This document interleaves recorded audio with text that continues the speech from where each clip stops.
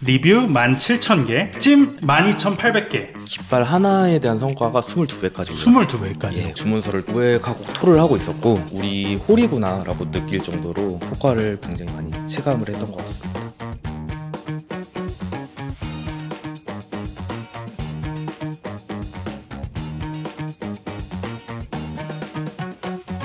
배달의 민족으로 대박난 사장님들의 노하우를 배워보는 시간. 안녕하세요. 저는 배달도감의 진행을 맡게 된 윤명규 PD라고 합니다. 최소 주문 금액 3,000원, 전 메뉴가 만원 이하, 그 다음에 매장 가격보다 사실 배달 가격이 500원이나 더 저렴한 말도 안 되는 가성비의 가게인데요. 그런데 이 가게의 매출이 잘 나오냐고요? 찜 12,800개, 리뷰 17,000개, 특별한 가게 배달 운영 노하우로 배민 고객의 사랑을 듬뿍 받고 있는 밥은 먹었어의 임내연 사장님 모시도록 하겠습니다. 반갑습니다.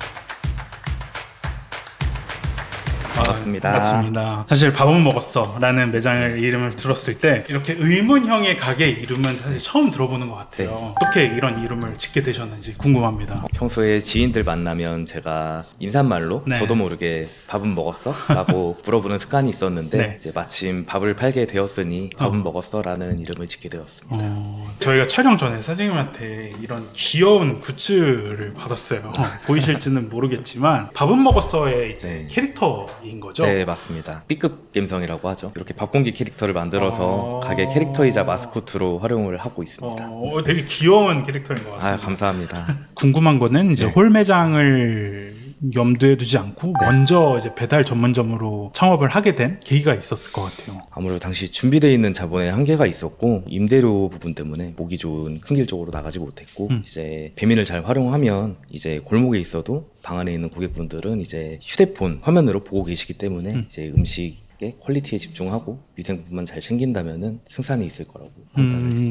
음, 사장님의 가게를 봤을 때 리뷰가 17,000개나 되더라고요. 오늘 아침에 확인해 본 결과 17,350개. 350개. 네네. 네. 찜도 12,800개. 네. 진짜 엄청난 맛집인 것 같습니다. 이 정도면은. 배민으로 좀 가게를 알리신 어떤 노하우가 있을까요? 당시에 울트라코를 적극적으로 활용을 했던 것 같습니다. 이제 매장 운영 시작하고 2, 3년 동안 깃발을 여기저기 옮겨보면서 연구를 많이 했던 것 같습니다. 음, 그럼 당시에도 다양한 배민 광고 상품이 좀 있었을 것 같은데 네. 울트라코를 선택하신 이유가 있었을까요? 울트라콜은 가게 실제 주소 기반이 아닌 제가 설정한 주소 기반으로 노출이 되기 때문에 제가 의도한 전략대로 더욱 많은 고객들에게 노출을 할 수가 있었습니다. 또한 주문수 상관없이 고정 광고 비용을 지출을 하기 때문에 주변 상권의 특성을 잘 분석을 하고 광고 주소를 효과적으로 활용할수록 보다 높은 효율을 낼 수가 있었고요. 그로 인해 절감된 광고비를 고객에게 재투자함으로써 재주문을 유도해서 단골을 확보하는 계기가 될 수 있었습니다. 음, 그 전에 데이터를 보니까 지금까지 울트라코를 총 60곳이나 운영을 하셨다고 하더라고요. 네네. 방법이 있었을까요? 핵심은 상권 분석이라고 생각을 하고요. 정확하게는 배달 상권의 이해입니다. 배달 상권을 이해하기 위해서는 이제 우리 가게 메뉴 타겟이 누구인지, 그리고 그들이 주로 어디에 분포해 있는지, 음. 그리고 더욱 나아가서는 어느 시점에 어떠한 사유로 어디에 그들이 어떻게 이동을 하는지 이해하는지가 중요하다고 생각을 합니다. 음, 되게 흥미로운 것 같아요. 보통 이제 상권 분석이라고 하면 가게 주변의 상권을 분석하기 마련인데 배민 상권 분석이라는 것을 또 말씀을 하시니까 이런 부분 좀 흥미로운 것 같아요. 이것뿐만 아니라 우리 가게 메뉴의 어떤 타겟층 이런 것까지 고려를 하신다라고 들었었어요. 밥은 먹어서 가게의 주 타겟층은 어떻게 되나요? 주로 모니터 앞에서 유튜브나 넷플릭스를 시청하며 혼밥하는 1인 가구 분들이 타겟이고요. 보통 타겟을 여쭤보면 2030 세대라던가 3040 혹은 뭐 1인 가구 뭐 이렇게 말씀을 하는데 되게 구체적으로 정하신 이유가 있었을 것 같아요. 식탁을 피고 간단하게나마 밥을 차려서 식사를 하시는 분들이라고 판단을 했고 음. 이제 대부분 1인 가구 단지 건물 아래에는 공통적으로 대부분 붙어 있는 문구가 음. 있죠 이제 분리수거를 제발 좀 잘 하자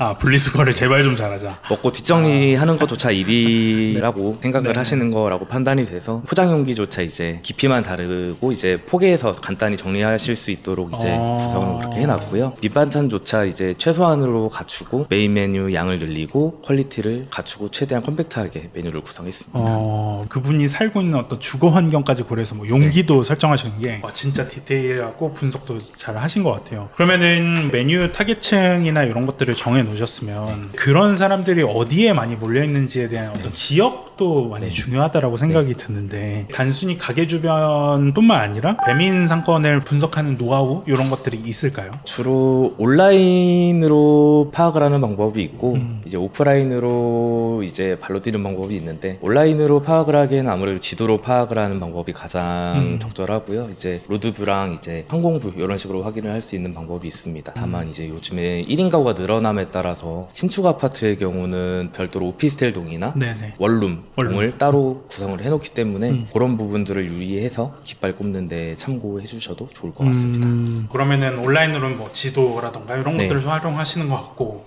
아까 오프라인도 잠깐 말씀해 주신 것 같은데 발품을 네. 직접 뭐 뛰어다니시는 건가요? 오프라인은 아무래도 직접 주문 들어왔을 때 배달을 나가면서 고객님들께 인사도 드리고 어느 곳에서 주문이 주로 많이 들어오는지 이제 확인을 직접 해본 경우도 있고요. 특히 이제 부동산 한 번씩 돌아다니면서 어느 지역에 공실이 많은지 한 번씩 여쭤보면서 그 지역의 깃발을 조금씩 옮기거나 삭제하는 등의 조치는 하고 있습니다. 배달을 많이 못 나간 경우에 주문서를 모아놨다가 어느 동에 가장 주문이 많이 들어오는지 확인한 다음에 이제 퇴근길에 한번 가서 이제 동네도 둘러보고 했던 것 같습니다. 그러면 퇴근 시간에 확인할 수 없는 자연재해가 있어요. 아, 네. 그렇게 상권 분석 못 하시는 경우에는 어떻게 그럴 땐 어떻게 하시나요? 어, PC 앞에서 이제 배민 셀프 서비스 아. 고객 관리 항- 항목에 보면은 이제 음. 데이터 분석이 굉장히 잘 돼 있습니다. 네네. 이제 그쪽에 신규 고객 유입이나 이제 재주문 그리고 이제 어느 동에서 주문이 들어왔는지 이런 것도 분석이 다 돼 있기 때문에 도움을 많이 받았습니다. 음. 예.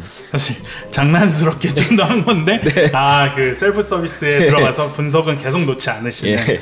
상상으로 이렇게 꽂는 게 아니라 네. 직접 뭐 손품이나 발품이나 셀프 서비스의 어떤 고객 관리 분석이나 이런 걸 통해서 아마 깃발을 정확하게 꽂으신 거잖아요. 생생한 정보로. 그러면은 이게 실제적으로 그렇게 하면 효과가 많이 있나요? 최대 성과가 깃발 하나에 대한 성과가 22배까지 올라. 22배까지. 예, 그렇습니다. 와, 그러면 진짜 어마어마한 성과긴 하네요. 예. 효과가 좋을 때는 최대 네. 몇 개까지 좀 꽂아 보셨나요? 성과가 좋았을 때 최대 32개 정도까지 꽂았어요. 32개까지. 예, 매출이 엄청 늘어났었고 너무 늘어나서 오히려 깃발을 줄였던 기억이 있습니다. 어, 주문이 감당이 안 됐을 네. 그런 효율이 나왔을 때는 네. 뭐, 뭐 어때 어땠길래 그렇게 했나요? 말 그대로 그 주문서 프린트기가 네. 주문서를 우회하고 토를 하고 있었고 주문서를 걸 수가 없을 정도로 계속 아. 토를 했고 저희가 울트라콜 깃발을 꼽는 곳이 우리 홀이구나라고 느낄 정도로 효과를 굉장히 많이 체감을 했던 것 같습니다.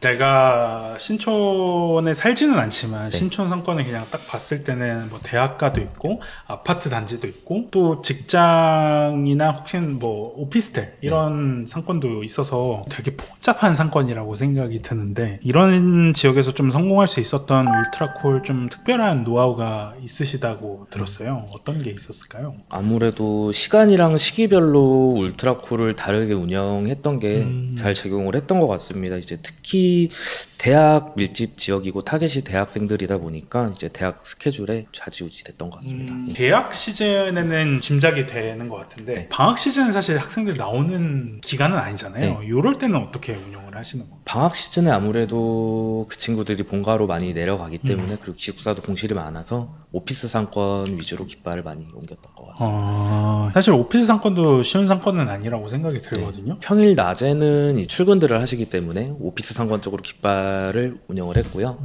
퇴근하거나 집에 계시는 시간대인 이제 평일 저녁, 주말에는 이제 1인 주거 오피스텔 이런 쪽으로 깃발을 이동해서 운영을 했었습니다. 지금까지 사장 얘기를 들어보면 뭐 시기나 시간별로 울트라콜 효율이 시시각각으로 변할 수 있기 때문에 빠른 대응이 필요한데요. 울트라콜의 가장 큰 장점이 실시간 이동과 바로 적용이 가능하다라는 점입니다. 배민 셀프 서비스 광고 서비스 관리에서 바로 깃발을 옮길 수 있고 지역 노출에 바로 반영이 되거든요. 셀프 서비스 통계 카테고리에서는 울트라콜 광고 효율을 실시간으로 분석을 해주는데요. 노출수, 클릭수, 주문수, 주문 금액을 주기적으로 확인할 수 있습니다.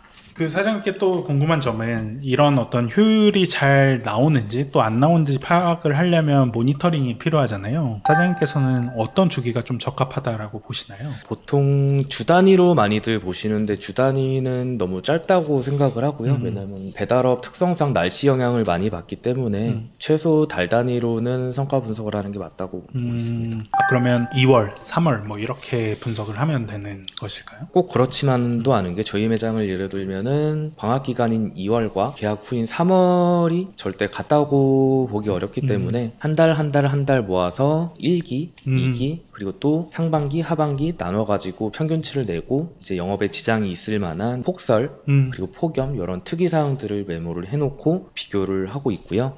시기마다 좀 다르게 특수성을 고려해야 된다고 보고 있습니다. 음, 제가 밥은 먹었어 요 울트라콜 활용하시는 어떤 노하우를 보면서 좀 눈에 띄는 게 있다면 카테고리를 두 개 나눠서 이용을 하시더라고요. 네.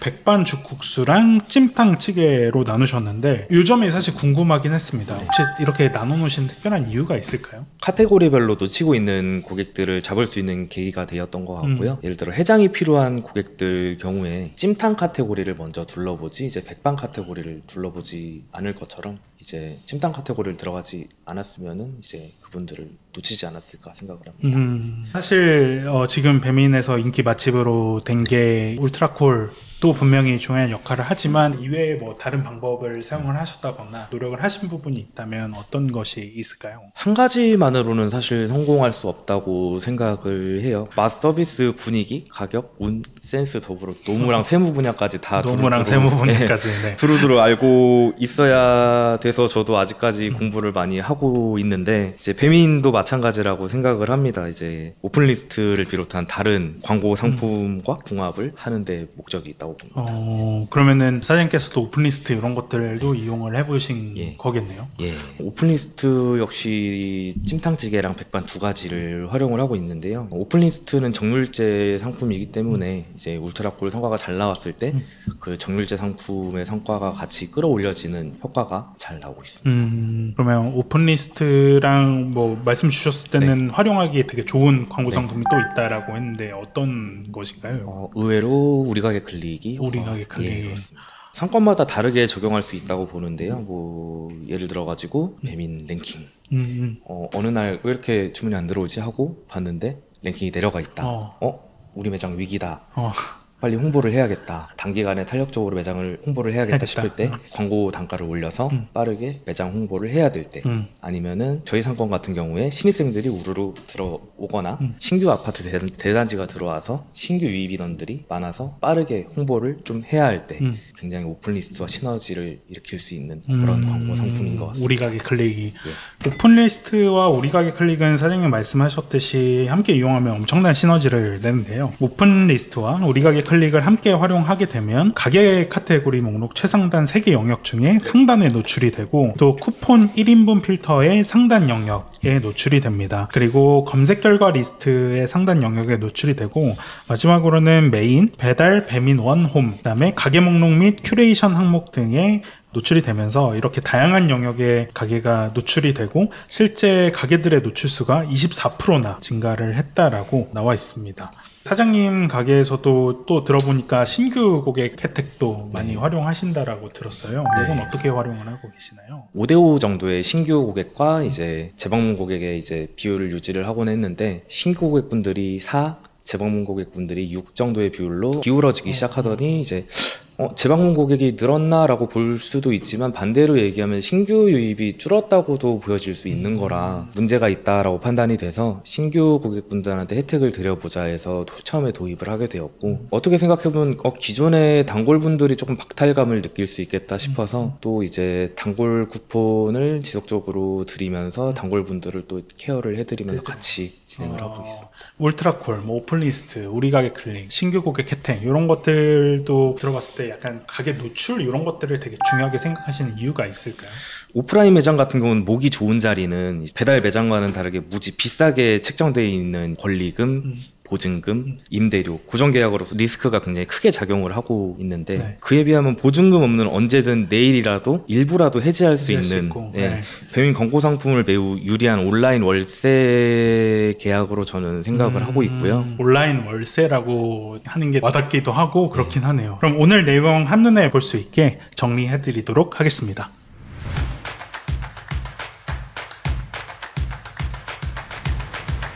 오늘 리뷰 17,350개의 어떤 배민 인기 맛집의 가게 배달 그 운영 노하우를 알아봤는데요. 가게 메뉴에 맞는 어떤 타겟층을 찾는 비결, 그리고 발로 뛰는 어떤 상권 분석, 그다음에 어떤 시기나 울트라콜과 혹은 오픈리스트와 활용하면 더 좋은 상품 이런 걸 알려주셔서 사장님들한테 많은 또 도움이 될 거라고 생각이 듭니다.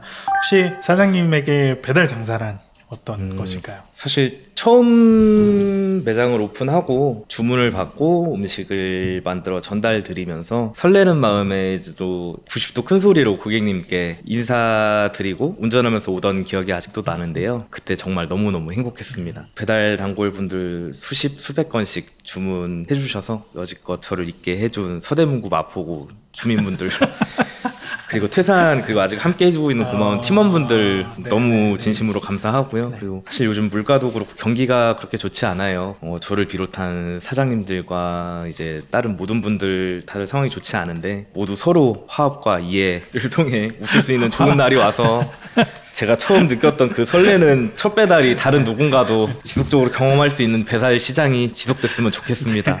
네. 혹시 뭐 어디 출마하시거나 이런 건 아니십니다. 어려운 발걸음 해주셨을 텐데 뭐 공유해 주셔서 너무 감사드리고 앞으로도 밥 먹었어 임내원 사장님 응원하도록 하겠습니다. 감사합니다. 전국의 사장님들이 배민앱으로 대박 매출을 이루실 수 있도록 배민앱 활용 노하우를 기록하는 배달 도감의 여정은 계속됩니다. 지금 시청하고 계신 사장님도 배민앱 활용 노하우가 있으실 것 같아요. 그렇다면 영상 아래에 고정 댓글 링크로 들어가서 사장님만의 배민앱 활용 노하우를 마음껏 자랑해 주시면 좋을 것 같습니다. 저희가 월마다 추첨을 통해서 다섯 분께 배민 상품권 5만 원을 드리도록 하겠습니다. 그럼 배달 도감은 다음 시간에도 알찬 내용으로 찾아뵙도록 하겠습니다. 그럼 안녕 같이 안녕 계시.